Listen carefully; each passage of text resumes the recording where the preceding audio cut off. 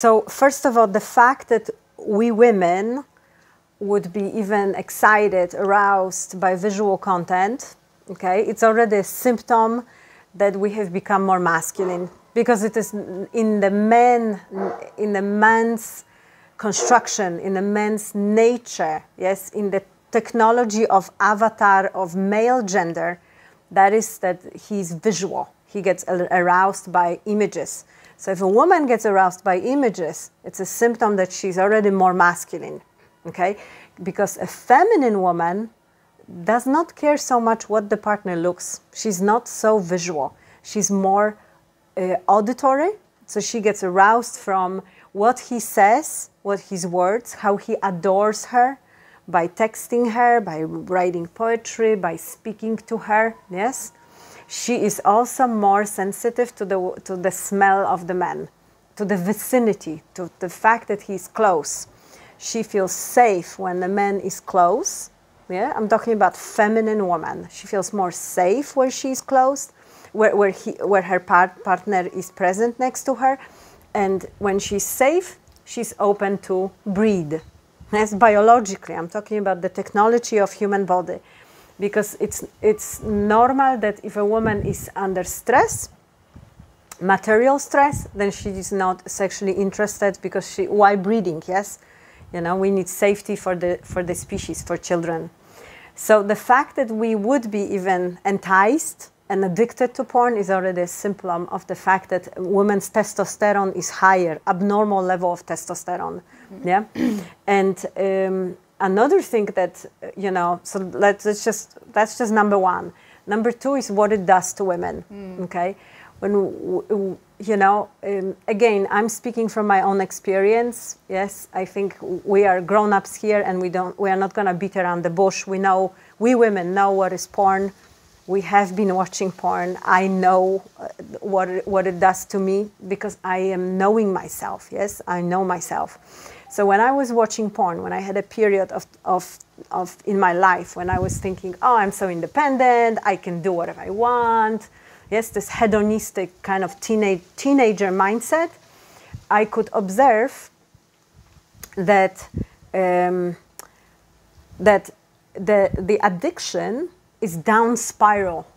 So it begins, it, it pulls me down. I could uh, observe that it just drains the energy down the toilet. Yes?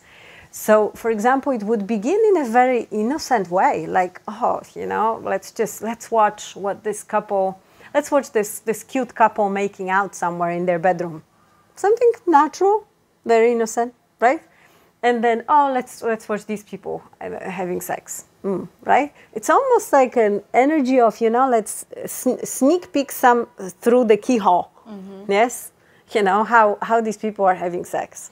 Yeah? Or let's watch through the window. And then later on, you begin, you, you can notice that you observe, uh, you, you, you begin to watch, and this happens to women and men alike, right? That we get drained, we get siphoned into that cesspool of addiction, that we begin to watch something that is more kinky more weird. Yes? And before you know, you're watching shit that you would never ever choose at the beginning. Okay? So the stuff that is coming up later on is breaking taboo. It could be family taboo. Yeah, like you know, sex within between parents and children. This, or, or like for example, his mom having sex with a son, or or or father having sex with his daughter, like weird shit, right? Or, for example, it could be breaking taboo between races. Yeah, but you know, here we, we know that porn is showing a ton of black guys having sex with white women, right? And it's hardly ever the other way. Yes, because it's a targeted, it's a systematic attack at our men.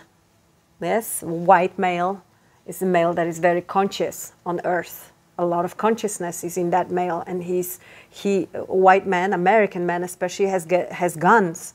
So there is let's let's you know put him down by showing him a, a black guy having sex with a white woman. Okay, and this doesn't mean anything. I'm not in, in any ways saying that black men cannot be with a white woman. I'm just saying that it's a weaponized you know way to make somebody feel like he's not good enough mm. right anatomically because black guys are bigger mm. you know so we are being trained that bigger is better when it's completely bs okay any woman that's that is sensitive sensual because a woman feminine energy is sensuality men are looking for women who are sensual not for sex vamps that are hard to satisfy mm. porn what porn does to women is that it creates that sex vamp, mm. sexual vampire that is hard to basically bring to satisfaction. Yes? If a woman from porn very, very easily will land up in the addiction to vibrators and all sorts of stuff. Yeah? So, what happens to women when they are hooked, when they are addicted? Well, um, basically, women become bipolar. Mm. okay, simple thing you know she's throwing a fit she or, or she will be euphoric, euphoric very happy and then uh, uh, very down yes depressed or you know euphoric and then ang- angry or afraid yes? So very emotionally unstable.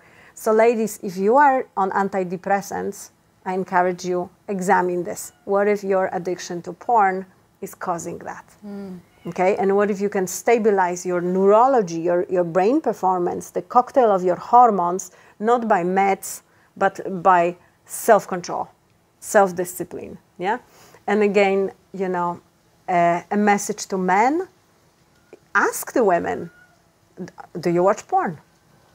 A woman, if you're dating a woman, yes, ask, do you watch porn? Because if she is addicted to porn, don't expect that she's gonna be a stable, emotionally balanced, rational partner capable to understand you and respect you. Mm. Okay, get real. You're dating a drug addict. All right? And then the same way, if you, if you are, you know, if you are courting a woman, uh, take a look. Does she have vibrators in her drawer, in her bathroom, by her bedroom? Yes? Because if she is, most likely she's bipolar. And again, you won't have a stable, reliable partner. Yes, a man needs a, a, man needs a partner that, that will respect him, understand him, and respect him, not a drama queen. Yeah, and men are a little bit like, um, sorry to say, I'll use the metaphor. Men are a little bit like dogs. Yeah, dogs. They guard us. They provide security, protection to us, our families, our communities in third dimension, in material realm. And women, if woman is in her feminine energy, yes, so if she uh, goes spiral upward, yes, if a, if a man is upward spiral, he will be in the high testosterone and protective energy. Yeah, he'll be a protector and a provider. He's capable to provide and protect. If a woman goes up spiral, yes, so self controls and channels that energy up, what happens is that this woman, she becomes the protector and the provider of nourishment, of family, of community on the energy level. So she, she becomes very multidimensional. She is like a cat. Yes? You know, cat's eyes, they go from circle to, to slanted because it, it, cats can see material dimension and also the spiritual dimension. Yeah?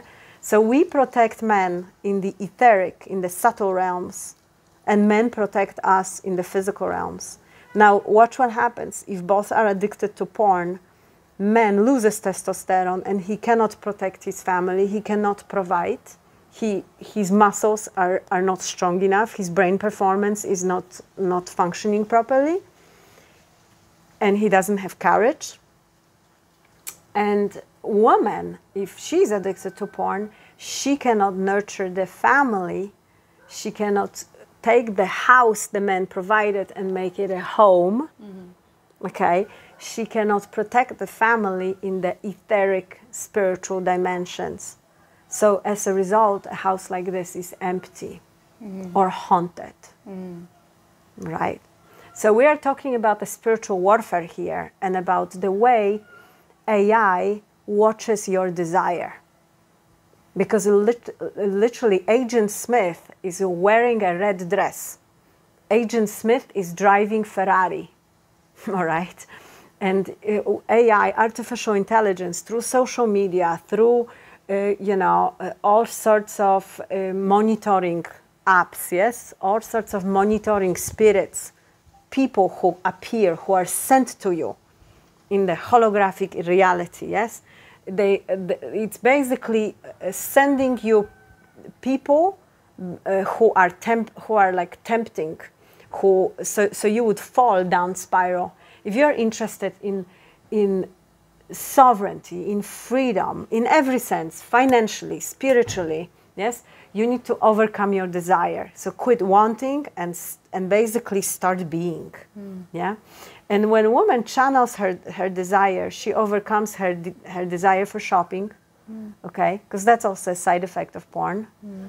Yeah, if she's addicted, more and more and more. yeah, mm. if she's if she's addicted to porn, she'll be greedy. she'll be she'll be have she'll be feeling empty that she's not good enough, and she'll have the illusion that, you know, buying shit from China, some rugs from China, uh, mm. sh- uh, with some funny logos is gonna fill her up. Yes, so. Um, you know, woman woman who is hooked on porn will be feeling insecure, jealous, uh, emotional, cry for no reason, mm. you know, throwing a, throwing a fit, guilt, blame, shame, and so on. So, you know, it's not a spiritual thing mm. at all. Mm. Thank you so much for that. Uh, I'm gonna add the links under the video, like um, um, what's to do about uh, fixing this problem and so you can find also details for Levita. So if you need any coaching, maybe uh, because it's so difficult for you because you're so addicted, so one-to-one session maybe will help you to start at least, you know. So thank you very much for that, and then yeah. All right, thank Hablamos. you. Bye.